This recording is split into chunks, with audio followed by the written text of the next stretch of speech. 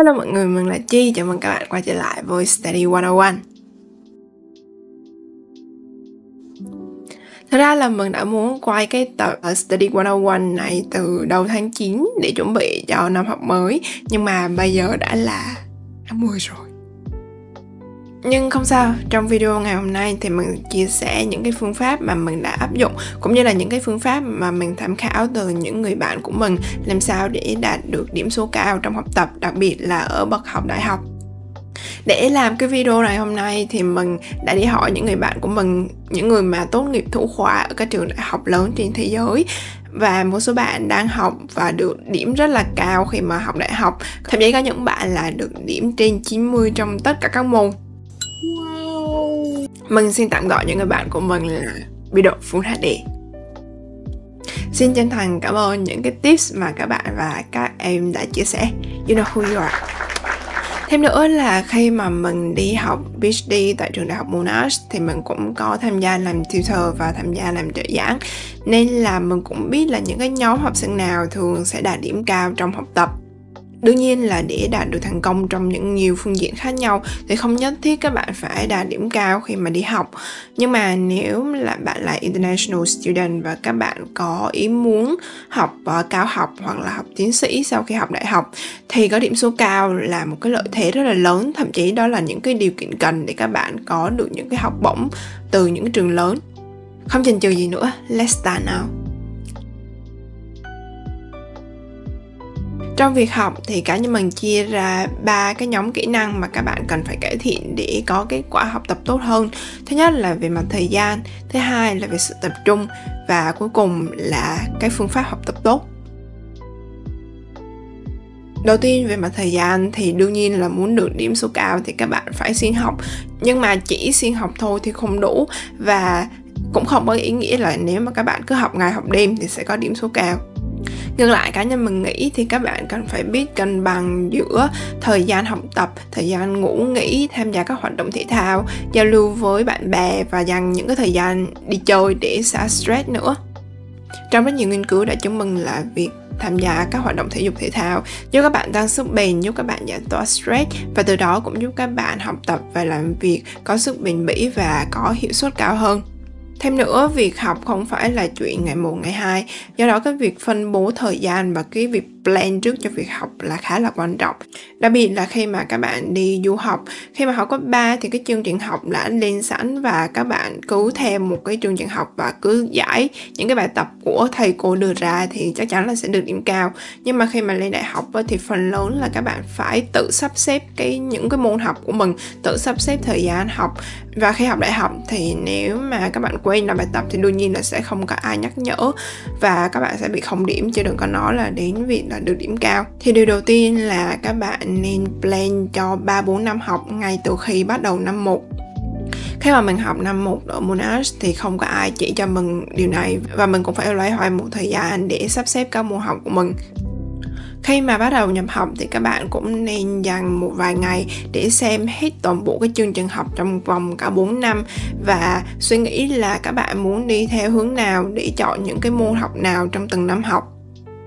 đặc biệt là nếu các bạn muốn đi exchange muốn đi học trao đổi vào năm 2 hoặc là ở một số trường thì cái chương trình học khá là flexible thì các bạn có thể học năm 1 là năm common year có nghĩa là học tất cả các môn cơ bản. Và năm 2, năm 3, năm 4 thì các bạn sẽ từ từ đi sâu hơn vào chuyên ngành. Mọi người cũng có thể tham khảo cái course map của từng trường. Ví dụ như là ở đây mình có một cái course map của trường Monash cho ngành engineering các bạn có thể chọn các môn khác nhau phù hợp với định hướng và phù hợp với sở thích của từng người. Nhưng mà các bạn cũng nên chú ý là có những môn năm 2 hoặc những môn năm 3 thì có yêu cầu là các bạn phải học trước những cái môn năm 1 và nếu mà các bạn, từ năm 1 mà các bạn không học những môn này thì lên năm 2 lên năm 3 các bạn sẽ không học được những cái môn mà bạn muốn chọn. Như vậy là các bạn cũng phải xem kỹ cái chương trình học và lựa chọn một cách chắc chắn là những cái môn nào nên enroll vào những kỳ nào. Vì nếu mà các bạn không học thì các bạn phải học lại những cái môn pre-required. Vào từng năm học thì các bạn có thể plan những cái môn học của bạn ngay từ đầu năm, thậm chí là sớm hơn. Thông thường thì lịch kiểm tra cho các assignment đã được lên sẵn từ đầu năm và các bạn có thể kiểm tra trong unit guide. Tùy theo từng môn thì có thể có quiz hàng tuần hoặc là nhiều môn chỉ có một hoặc là hai assignment lớn ngay từ đầu kỳ thì mình sẽ kiểm tra là mỗi môn sẽ có bao nhiêu assignment, mỗi assignment sẽ chiếm bao nhiêu điểm. Và sau đó thì mình sẽ set up lên Google Scholar cũng như đặt reminder để mình không bị quên. Đặc biệt là một vài quiz nhỏ chỉ chiếm là một hai phần trăm. Nhưng mà chắc chắn là để được điểm cao thì mọi người sẽ không muốn là bị quên làm những cái quiz này. Vì chuẩn bị cái timetable trước thì cũng giúp mọi người định hình là mọi người cần dành bao nhiêu thời gian cho những cái assignment cụ thể ví dụ khi mà mình đi học thì có trường hợp là trong một kỳ mình có ba assignment lớn của ba môn khác nhau cùng đi vào cùng một ngày như vậy là nếu mà mình không sắp xếp và mình không dành cái thời gian chuẩn bị trước, thì đương nhiên là mình không thể nào đạt được điểm cao ở cả ba cái assignment Thứ hai thì các bạn nên phân bố cái thời gian cho cái assignment tùy thuộc vào số điểm mà cái assignment nó chiếm trong số điểm của cả năm. Ví dụ là nếu mà các bạn dành quá nhiều thời gian cho những cái assignment nhỏ. Assignment chỉ có hai, ba hoặc là 5% thì đương nhiên là bạn sẽ không có nhiều thời gian để dành cho những cái bài assignment lớn hơn, ví dụ là 10% 20% do đó là cái việc plan ngay từ đầu kỳ thì rất là quan trọng thêm một tip nữa mà bạn của mình đã chia sẻ và bạn của mình đạt được à, Full HD trong tất cả các môn mà bạn đó đã học. Thường là đầu năm bạn ấy sẽ dành khoảng 3 đến 4 tuần đọc hết lecture note của tất cả các môn và sau đó là có những cái điều gì không hiểu thì các bạn có thể lên hỏi lecturer và hỏi tutor. Như vậy là khi học đến cái phần bài đó thì giống như là bạn được ôn lại và cái việc ôn lại thì sẽ giúp bạn nhớ lâu hơn và hiểu được cái kiến thức và nội dung của cái phần bài học đó kỹ hơn. Việc này sẽ giúp các bạn tiết kiệm thời gian khi mà ôn tập để thi cuối kỳ. Tuy là đầu năm thì có thể vất vả hơn một chút, nhưng mà vào những cái tuần cuối năm khi mà các bạn có nhiều assignment thì các bạn sẽ có nhiều thời gian tập trung làm assignment, thay vì phải đọc lại hoặc là học lại cái nội dung của cái môn học. Và mình nghĩ đây là một cái tips rất là hay để các bạn có thể đạt được điểm số cao hơn. Ý thứ hai mà mình muốn nói đến đó là sự tập trung. Kể từ khi mình học cấp 2, học cấp 3 hay là khi mà mình học ờ, đại học và học tiến sĩ thì mình đều thấy là việc dành quá nhiều thời gian cho việc học thì cũng không thực sự là cần thiết. Mà thay vào đó nếu các bạn có một cái sự tập trung cao độ và một cái phương pháp học hiệu quả thì các bạn có thể có điểm cao mà không cần phải dành quá nhiều thời gian cho việc học nếu mọi người thấy là bản thân mình không thể ngồi tập trung, học tập trong một cái thời gian dài, thì mọi người nên tìm hiểu xem là những cái nguyên nhân nhà nào đã dẫn đến cái sự mất tập trung. Và từ từ thì rèn luyện cái khả năng tập trung của bản thân mình một số cái kỹ năng cơ bản nhất là các bạn không nên dùng điện thoại để check mạng xã hội, kiểm tra tin nhắn trong khi học. Và mình cũng suggest mọi người là trong khi học thì nên để điện thoại ở chế độ busy hoặc là do not disturb để không bị distract bởi những cái notification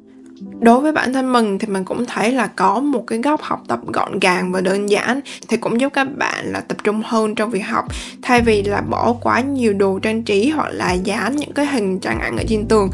Khi mà mình đi học đại học thì mình cũng thường xuyên lên thư viện học bài, kiểu như là mình thấy mọi người cũng tập trung đang học bài thì mình cũng có một cái không khí và mình cũng tự giác là mình sẽ tập trung học bài hơn. Thay là vì là vừa ngồi học bài vừa check email hoặc vừa ngồi học bài vừa check facebook chẳng hạn.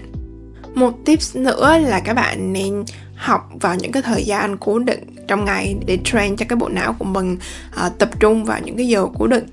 thì đây cũng là một cái quả nghiên cứu từ trường đại học Harvard là mọi người nên train cho bộ não làm việc hiệu suất cao ở những cái thời gian nhất định trong ngày và giữ cái routine đó trong một cái thời gian dài để tăng hiệu suất của não bộ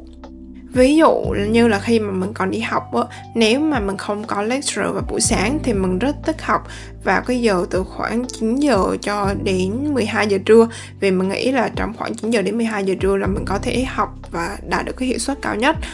ngoài ra thì các bạn cũng có thể luyện tập thêm các phương pháp để nâng cao cái việc tập trung. Ví dụ như là mỗi ngày thì dành khoảng 5 phút 10 phút để thiền hoặc là luyện tập mindfulness hoặc là chơi những cái games rèn luyện trí não như là Lumosity cũng giúp mọi người tăng cái khả năng tập trung hơn cuối cùng là về phương pháp học tập thì các bạn có thể tham khảo nhiều cái phương pháp học tập khác nhau và tìm ra những cái phương pháp học tập nào là có hiệu quả đối với bản thân mình. Nếu các bạn tìm trên youtube hoặc là trên internet thì có rất là nhiều phương pháp để các bạn có thể học tập hiệu quả hơn. Nhưng mà đối với bản thân mình thì mình thường áp dụng actively engaging, nghĩa là chủ động kết nối vào cái bài học và cái topic mà các bạn đang học một vài cách mà mình hay áp dụng là các bạn có thể dùng mind map hoặc là dùng những cái list để ghi ra những cái ý chính trong cái bài học của bạn. Và khi đi học thì mọi người cũng nên tự tìm cách để kết nối các topic khác nhau. Khi mà mình đi làm trợ giảng thì mình mới thấy là khi thiết kế những cái bài giảng cho một môn học thì sẽ có những cái lý do nhất định vì sao các giáo sư lại chọn những cái topic nhất định và những cái topic này thì chắc chắn là sẽ bổ trợ cho nhau. Nhưng mà khi đi học thì các giáo sư sẽ không chia sẻ một cách cụ thể là vì sao người ta lại chọn những cái topic này. Nên là khi đi học thì mọi người cũng nên tìm hiểu lý do vì sao mà các giáo sư lại đưa những cái topic đó trong những tuần khác nhau. Thì việc những cái topic đó có liên quan gì đến nhau, có quan hệ và có bổ trợ cho nhau như thế nào như vậy là các bạn cũng sẽ thấy là cái môn học của mình có tính liên kết và cảm thấy thú vị hơn. Khi các bạn thấy thú vị thì các bạn cũng sẽ nhớ được cái nội dung bài học lâu hơn